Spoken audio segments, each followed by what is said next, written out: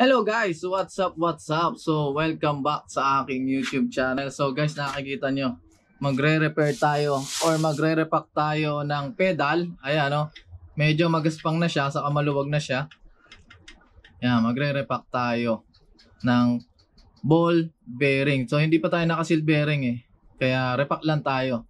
Mahal yung seal bearing eh. Ang mga kakailanganin natin na gamit ay, syempre, grasa, sa uh, range ng 14, 15 pambaklas ng ating pedal, magnet para hindi mawala ang ating mga ball bearing, maliit na screwdriver pang sikwat ito ng cover ng ating pedal, at syempre ang ating degreaser. So ang gamit ko sabon na may joy. So, uh, Tide powder saka joy na pang urong. So ano pa hinihintay natin guys? Simulan natin. So syempre unang-una kailangan nating baklasin tong ating pedal. So ang gamit natin dito ay size 15. So ang pagbabaklas ng pedal guys, papunta palagi sa likod. Ayan. So niluwagan ko na to guys kasi para hindi na mahirapan sa pag-video. Ayan. So lahat pati doon sa kabila guys, palaging papunta sa likod ang pagbaklas. Ayan. So guys. So ito hindi ko pa nabubuksan. Kunin natin tong maliit na flat screw para masikwat natin. Kasi nandito yung lock ng nut. Ayan. So plastic lang naman to guys. Ayan. The next, gagamit tayo nito. Size, ah 12 pala to guys. 12. 12 mm. So, palitan lang natin. Pampigil lang naman to guys. Tapos, kunin uli natin tong 15. So, ito yan. Ayan. Tingnan natin kung maki, ma, ano ko. Ayan. Ayun, maluwag na siya guys. Na, ito, hindi ko pa naluluwagan siya guys. Virgin pa yan. Ngayon ko lang niluwagan. So, na, madali na. Ayan, kunin ko lang to para madali natin maluwagan. Ayan. So, kunin natin yung magnet guys. Ayan. Para kung sakaling bumagsak, diretso siya sa magnet. Para hindi mawala. Kasi pag nawala yung bearing, nahihirapan tayo. Or mas maganda siguro, lagay natin itong, bear, itong magnet dito sa ating degreaser. Mamamagnet naman yan guys kahit basa eh. Yan. Yun, na-magnet na siya. So ilalaglag lang nat ilalaglag lang natin yung ating bearing diyan. So ugutin ko tong axle. Ah, meron pa pala. Ito. Magpipigil ko lang to, guys. Pinampigil ko lang yung screwdriver kasi wala akong ano eh, pamihit sa loob. Pero okay lang yun. Ayan guys, napipihit. Nakikita nyo ba? Ayan, may, naku may nakuha na akong bearing na magnet ng aking screw. Huwag kayong maglalang mag-alala na malaglag. May magnet naman tayo. Tapos yung bearing niyan guys, 26 pieces. So, tatlo sa isang side. Ah, labing tatlo pala sa isang side. So, tig 13 siya. So, wala na. Dito sa kabila, wala na rin. Palagay ko nalaglag na guys. So, lilinisin lang natin to. Gamit ang ating basahan. Pwede rin naman natin i-toothbrushin, pero ako babasahanin ko na lang.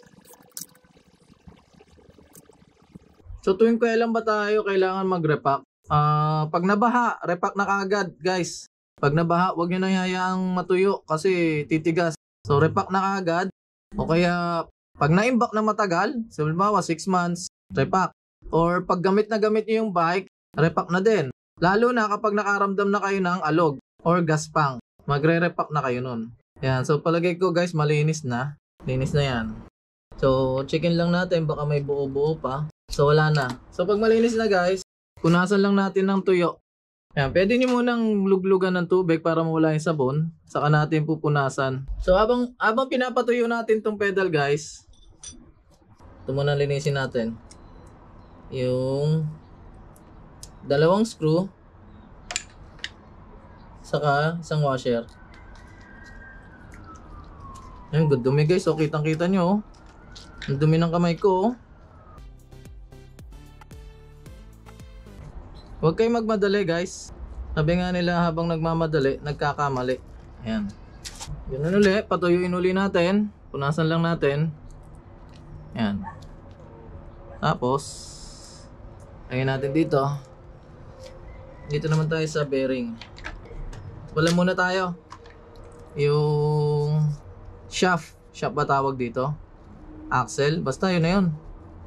Kung naman ang tawag dito. Hindi ko alam tawag dito eh.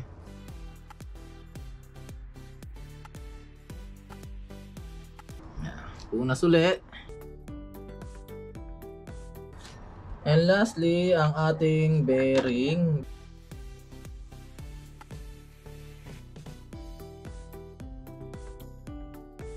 So ayan guys, linisin lang natin maigi yung mga bearing yan. No? So gumamit ako ng magnet para sigurado na hindi siya mawawala. Kahit anong gawin kong punas dyan, hindi yan malalaglag. Ayan o. So palagay ko malinis na to. So ang gagawin natin, lalagyan na natin ng grasa itong ating pedal. Lagyan na natin ng grasa. Tabi na natin to. So gagamitin pa natin yan.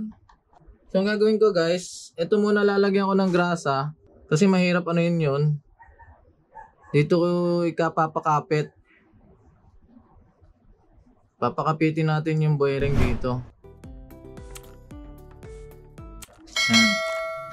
So kuha tayo rito ng labing tatlo. So labing tatlo lang guys ang ilalagay natin.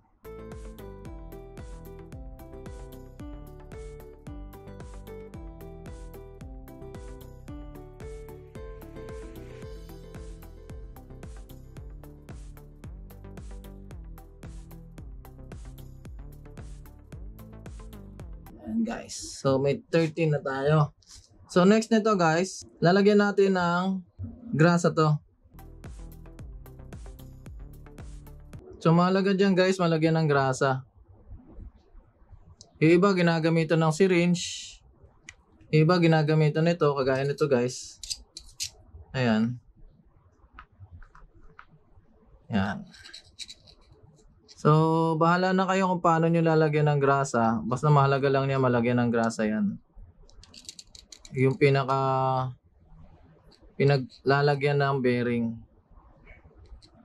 Yan. Tapos, bago natin ikabit yon lalagyan na rin natin to ng grasa. Yung kabila naman, ito yung outer part ng pedal.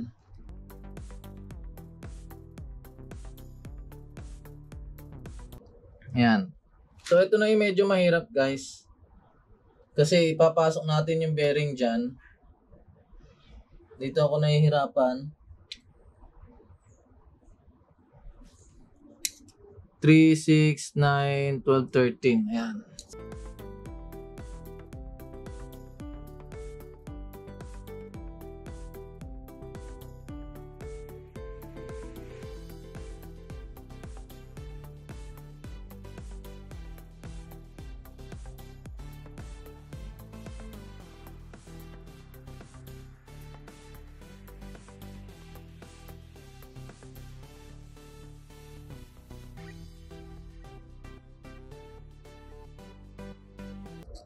Last one. Hanapin natin kung saan natin ilalagay.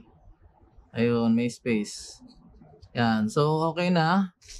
Nalagay na natin, guys. So, labing tatlo rito. Labing tatlo doon. So, itong shaft, dito sa mababaw, pa kasi malalim dito, dito lalagay yung tornilyo. So, papasok lang natin. Siguraduhin na nga natin Lalagyan ko lang to guys ng konting grasa. Yan, para sigurado tayo. Magbabaklas din naman tayo. Eh, maganda na yung sigurado tayo. Siguraduhin nyo lang guys na hindi mawawala sa ayos. Tapos, lagyan na rin natin to. Eh, wala namang bayad ang grasa guys eh aanin naman natin yung ganyang karaming grasa. Yan. Tapos, shoot na natin. Unti-unti lang guys ah. Kasi baka matulak nyo yung yung bearing. Yan. So, pag na-shoot na, kukunin natin yung kulay itim kanina. Ito guys. Ito yung pang-lock ng bearing eh. Ayan. So, dito ko siya pipihitin. Ayan. Kunin natin yung maliit na screwdriver. Ito yung pampigil ko eh.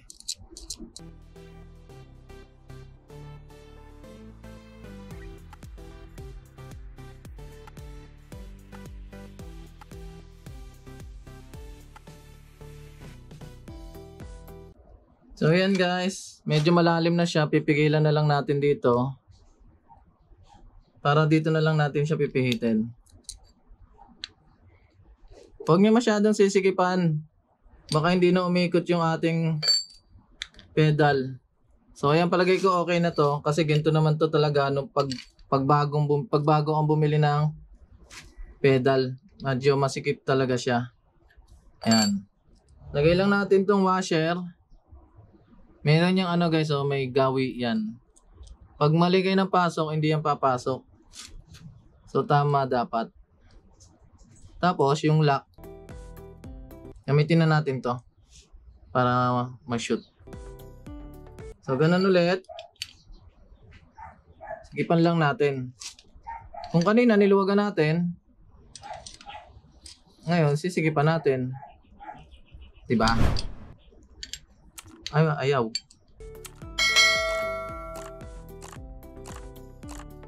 So, kunin natin tong nut, lock. Ito yung maglalak sa kanila eh, para hindi gumalaw. Tapos pihitin lang natin. Ayan. Tapos, sige pa na natin. Gamitin natin to parang pampigil.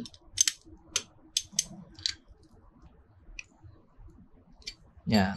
So, check natin kung iikot siya. Yon. Maluwag pa. Sige, pampa natin. Yung sikip lang na guys na kagaya ng bagong bili nyo na pedal. Yan. Pwede na to. Yan. Yan. Ganito rin naman kasikip yung bagong bili eh. So lalagay lang natin to. Babalik. Konting pukpok. Ayos. Tapos, babalik na natin sa crank arm. Pabalik na naman guys. So kung papunta dito, ang pasikip naman niya papunta naman dun. Ayan. So napakadali lang, di ba guys? Madali. Matrabaho nga lang. Ayan o. Oh. Ayan. So sigipan lang natin. Ayan. So okay na. Ayan. Pwede na ulit tayo mag-rides. Rides, rides. So ayan guys, pwede na tayo mag-rides, rides. So hanggang dito na lang ang ating video. Siyempre huwag kalimutan pindutin ang like and subscribe button. Yehoo!